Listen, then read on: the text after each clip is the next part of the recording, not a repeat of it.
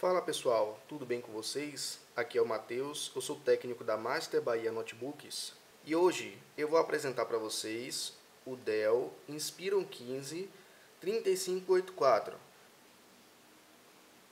As suas conexões, ele tem uma conexão HDMI, uma RJ45 e três portas USB, duas do lado esquerdo, uma do lado direito também conexão para cartão SD, aquele cartão que normalmente é utilizado em máquinas fotográficas.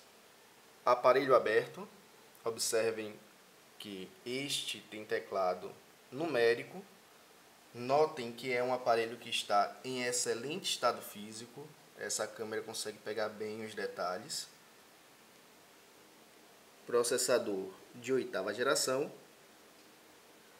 Vamos agora aqui para o sistema.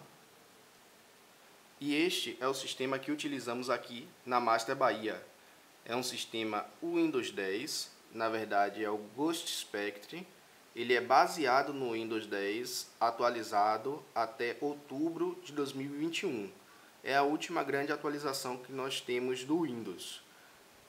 Observa aqui já algumas coisas do aparelho. Colocar aqui a senha, e vamos para as configurações deste aparelho.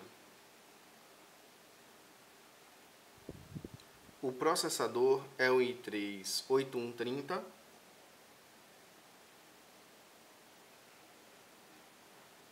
Este notebook está com 4 GB de RAM. A memória já é DDR4, como podem observar pela velocidade.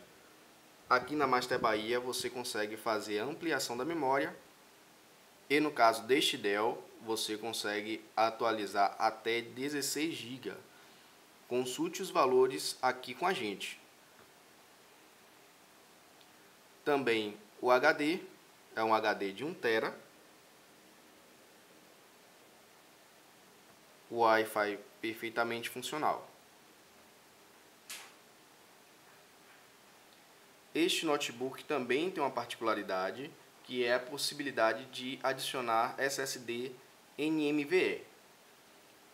Você consegue fazer essa expansão e manter o HD original.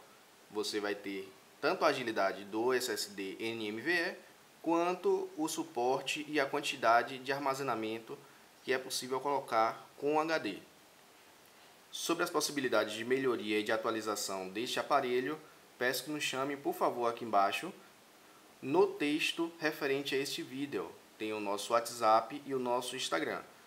Aproveitando, peço que por favor curtam este vídeo, compartilhem para que mais pessoas tenham também informações a respeito deste aparelho e se inscreva no nosso canal. Isso é muito importante para que nós façamos mais vídeos explicativos como este.